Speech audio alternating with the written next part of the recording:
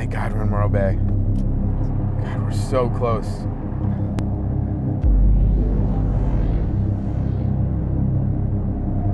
In 0.2 miles, take the ramp right towards Morro Bay Boulevard. It better be like literally like right here. Otherwise, we're screwed. this is not good. We're at one mile. Now turn right onto Shasta Avenue. What was that? I don't know. Just get to the truck. Um, can you spit out your gum? Man, I'm sorry, dude. You know how many comments I just spared you on YouTube? A thousand. The electric motor. Here was the strength of men's backs, the muscles of their animals, and the power of the water wheel in one package. Here was a light that was to show the way to one of the most significant single developments the world had ever seen, the electrification of nearly all human endeavor. Hey, I'm Chris, uh, and I just took delivery of a Tesla Model S. I'm experiencing it for basically the first time here. A little discombobulating if you've ever been in any other car in your life because nothing is the same. You have a 17 inch touchscreen and nothing else in, in the center console. You have a big LCD right in front of you, and that's about it. Everything is, is controlled through those two things, plus a few buttons on the steering wheel. Tell me about the decision to go with this giant touchscreen. Elon and myself decided early on that we needed to make a pretty radical change on the interior of, of cars, and that the thing that we both hated, the screens in general that we had seen to at that point, were they just small and the interaction with them sucked. We've seen a lot of really unique kind of experimentations in forward-thinking design language for electric vehicles as if that an electric vehicle needed to be something really crazy for it to be adopted. When we set out to design Model S, it was really about understanding the marketplace, the, the type of people that we were going to capture beyond the early adopters who we knew were already engaged and were already clamoring for this type of technology. So I just signed my life away if anything happens to this car, you will not be hearing from me again. We're going to Santa Barbara. That's the first leg of this journey. We're going from LA up to the Bay Area. I don't know how it's going to go. So, on that note, let's get the show on the road.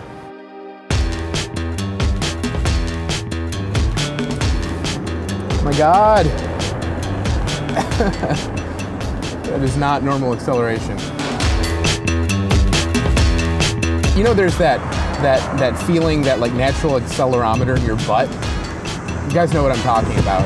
That accelerometer is in full effect right now, and I'm feeling great joy at the amount of acceleration that this vehicle is capable of. We've been warned by Tesla staff that taking too much advantage of the acceleration capabilities of this vehicle will impact range negatively, which makes sense. It has that, that seat of your pants sort of visceral feeling of raw performance and acceleration. If you're into sports cars, if you're into performance cars, this is not a car that's going to disappoint. Come on, bring your Ferraris, bring your Lamborghinis, let's do this.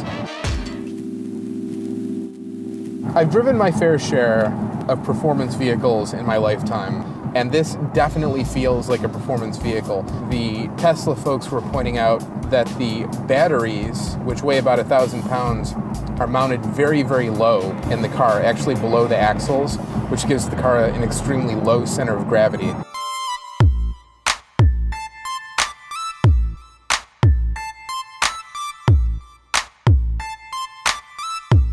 So we are in scenic Santa Barbara. It's really beautiful here. We have about 130 miles left of range on the Tesla right now.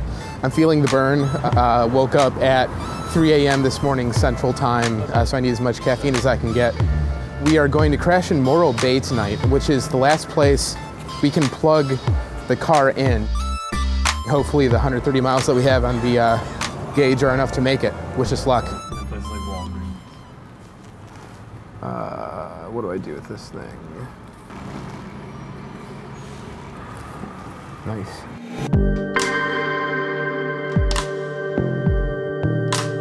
We've been going through the mountains here uh, north of Santa Barbara for a few minutes, And we had kind of a scare because we started with way more miles on our range meter than we did miles to go to uh, Morro Bay, which is our final destination for the night. But then as we went up through the mountains, the range kept going down and down and down, and we got to the point where uh, it became questionable whether we were going to make it. Uh, but fortunately, the car uh, has something called regenerative braking slash coasting. It has both. There is a center mounted speedometer that has a gauge on it that switches between green and orange depending on whether you're feeding power into the batteries or sucking power out. So like if you let off the, the gas, it goes into the green zone, which means that you're actively feeding, it's using regenerative power to, to feed energy back into the battery. So well, we had 99 miles on our range, and then we started coasting downhill. We got to the top of the mountain, we started going back down, and I watched it climb back to about 108. And we're down to 83 miles to go now. So I think we're gonna be okay. Please follow the road for 12 miles. I am kind of freaking out. I decided YOLO. I'm guiding us onward to Morro Bay, our original final destination, and we're gonna just hope that we make it. God, we're so close. I'm trying very hard. I'm modulating the accelerator to try and keep us so we're not burning juice. Okay, it just went to red, which is probably bad, I'm guessing. It's limiting the performance of the car based on how much battery you have left. So in other words, I, I can't smoke BMWs anymore until I recharge. We're at one mile. Oh yes, EV. Now turn right onto Shasta Avenue. I think this has been the most exhilarating sp- experience of my life. We're actually connected to the one and only EV charger in this entire lot. Uh, we are using an adapter because Tesla actually doesn't use a standard charging port, the same one that's used by the Leaf and the Volt and a lot of other EVs. So the car comes with an adapter that you connect so that you can charge it off a standard port. For every hour that we leave this thing on charge, it's going to put 18 miles in the in the batteries. We need to get to 250, which means this thing definitely needs to stay on charge all night.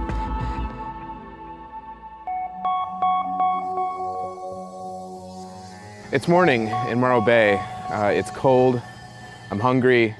Uh, but the good news is that the Tesla is almost fully charged. We had it on charge for about 11 and a half hours, and we're close to full. We have about 240 miles in range. So making it to Gilroy, theoretically, anyway, should not be a problem. So we're gonna hit the road. I'm hoping to get some breakfast and some coffee. That would be amazing. We're gonna see if we can make it to Gilroy.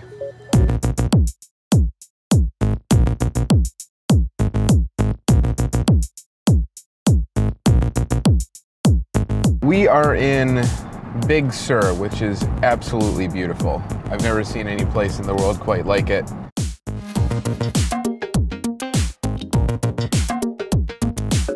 This is completely insane.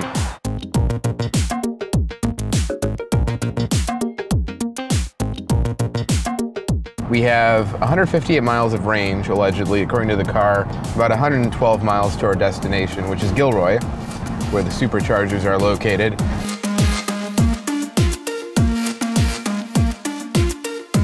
I think we're gonna make it, especially since we're already up in the mountains, so that means we have a lot of downhill, which means a lot of regen.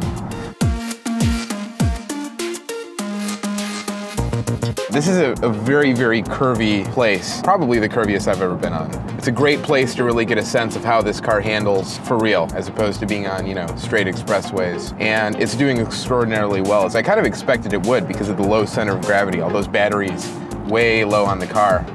Really sticks to the road, and it's rear-wheel drive, which is the, uh, the drive of choice for people who really like performance cars. Um, I have no complaints. I am standing in front of Tesla's proprietary superchargers here in a strip mall in Gilroy, California, which is about 70 miles away from San Francisco. That is our final destination for the day. We're gonna take about a half hour of charge. That's not gonna get the battery completely charged, but it'll take us uh, to the halfway point thereabouts. So it's gonna be about 125 miles of range. It's more than enough. These chargers cannot be used by other EVs. These are proprietary to Tesla, which is bad for other EVs, but good for Tesla because they charge a lot faster. So this is gonna take about a half hour. It means we have some time to kill. Should, should I talk? No?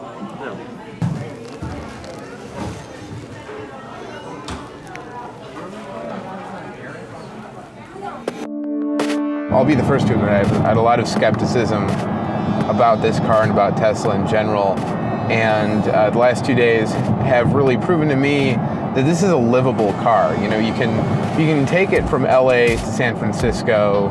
Granted, we had a couple of close calls. We had a few white knuckle moments, but we made it. So yeah, I'm, I'm, I'm impressed. Um, and let's be honest, for 50, 60, 70,000 dollars, whatever you're paying for this thing, not to mention a year or two wait, you better be impressed. Better be a really good car. We have over 100 miles left on range since we left Gilroy. I have to tell you, as a car guy, it, it, it's really hard to imagine, first of all, that an EV can be like an emotionally charged driving experience. You know, EVs are a tough sell, I think, particularly for car nuts, but the performance is there. It feels like it was designed and engineered by car guys. Uh, the handling is fantastic, and it's a heavy car. Going through the curves of Big Sur, going up and down the mountains, it was great. But that being said, there's still a long wait list. That's problem number one. And problem number two, the infrastructure isn't there. They still need to install hundreds of these superchargers nationwide. And in general, the EV infrastructure has to get better, both in cities and in rural areas. So that's a challenge over the next few years. And fortunately, because the wait list is a few years long, that gives me time to get on right now and hopefully get my car in time for everything to be ready.